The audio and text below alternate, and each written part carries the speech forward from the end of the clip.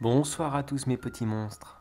Juste avant que la vidéo ne commence, j'aimerais juste vous partager ce magnifique petit fan art qui a été réalisé par H. de Lee Art. Excuse-moi si je prononce mal ton pseudo, mais moi et les prononciations comme ça, ça a toujours fait deux. Et comme vous voyez, je ne suis pas tout seul. On me voit sur le côté, accompagné de Piraku, de la chaîne Piraku, épitaphe de l'horreur, Récit fantastique, Dainis et Creepy Stories. Bien sûr, je ne vous les présente pas. Je pense que vous les connaissez déjà tous. Mais je vous encourage tous à aller découvrir le travail de H. de Lee Art sur son compte Instagram, dont le lien sera dans la description de la vidéo. Allez y faire un tour, croyez-moi, ça vaut vraiment le coup d'œil. Sur ce, mes petits monstres, place à l'histoire.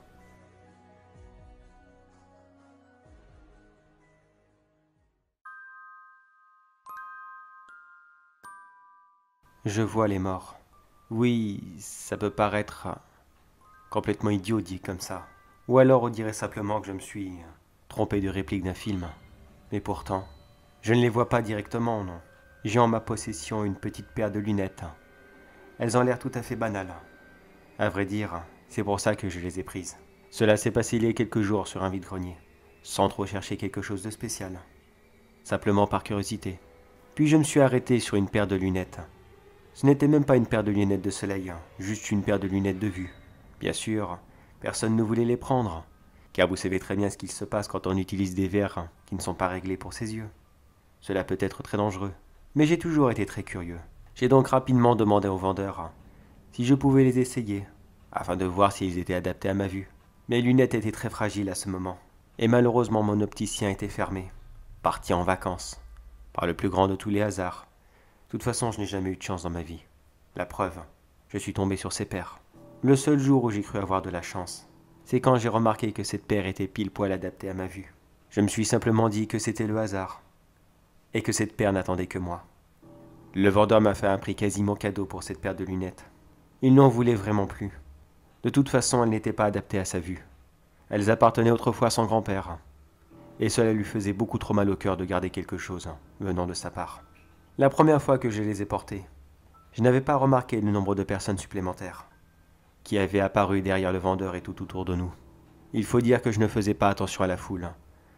Alors une personne de plus ou de moins ici et là, Comment j'aurais pu le remarquer? Ce n'est que sur le chemin du retour que j'ai commencé à constater qu'il y avait quelque chose de bizarre avec ces lunettes. Quand je les utilisais, je voyais des gens un petit peu sortis de nulle part, qui apparaissaient et marchaient dans la rue. Ce que je veux dire par là, pas qu'ils étaient là pendant une seconde et que directement après ils disparaissaient, même si cela était le cas quand je retirais les lunettes, mais je les retirais très peu, car je peux vous certifier que ma vue est très mauvaise et j'ai gardé cette habitude de toujours les garder sur moi, et surtout de les laver vraiment en cas d'urgence. Oui, croyez-moi, j'ai vraiment une très très mauvaise vue. Mais ce que je veux dire par sorti de nulle part, je voyais des gens vêtus d'une tenue très différente de tous ceux qui nous entouraient. Certains étaient vêtus comme nous, mais beaucoup d'autres étaient vêtus des années 50, 30, ou voire même de tenues si vieilles que je ne pouvais même pas leur donner un âge précis. J'en ai déjà vu un petit groupe se promener en armure. Oui, oui, en armure de chevalier.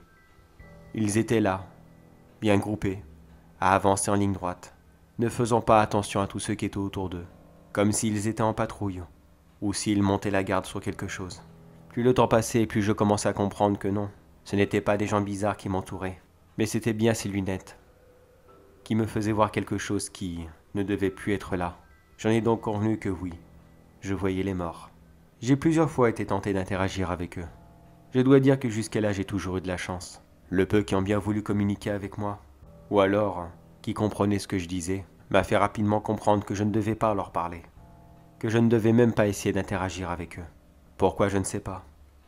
Les morts ne sont pas très bavards, je ne les entends jamais communiquer.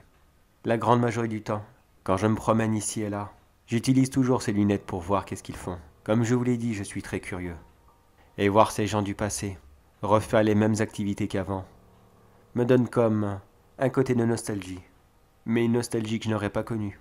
C'est difficile à expliquer. Disons que J'étais devenu comme un historien qui serait tombé dans un véritable magasin de bonbons. Des fois, je pouvais passer des heures à les regarder.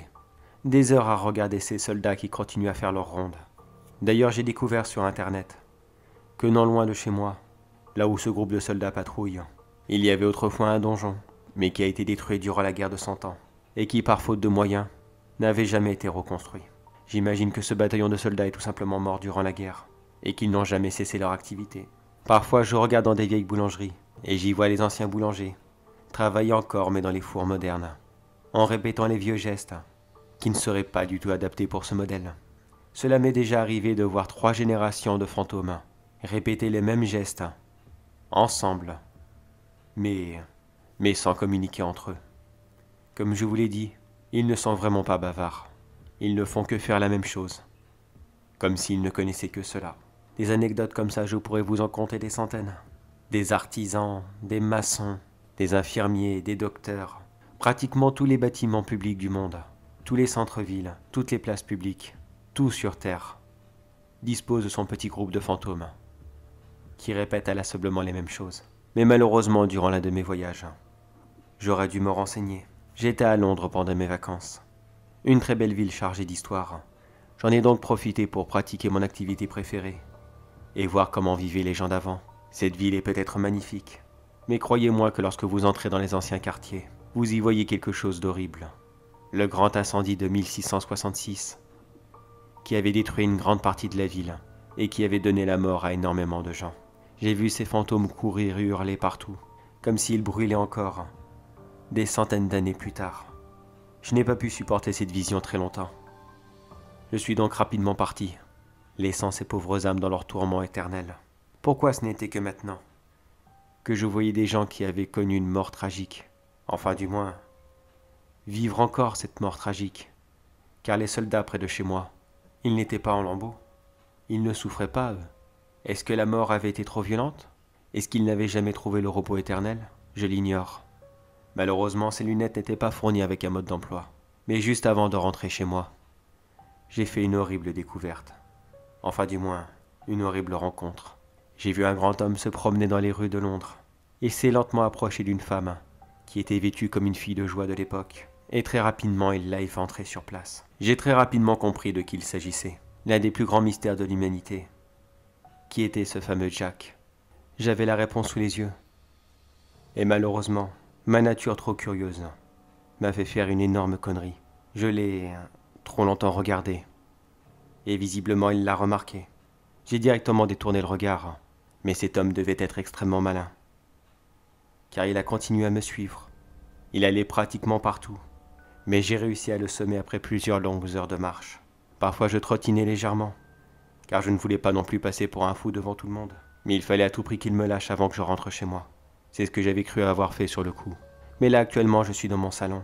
Il y a quelques minutes j'ai regardé par la fenêtre afin de regarder les quelques fantômes qui rentrent de leur travail, comme à leur habitude. Et c'est là que je l'ai vu. Il était là devant chez moi, à me sourire et à me saluer de la main, me faisant comprendre qu'il n'allait plus tarder à rentrer, et que cette fois-ci, il ne partirait pas seul. Je laisse donc ce petit message écrit derrière moi, et je pose les lunettes dessus.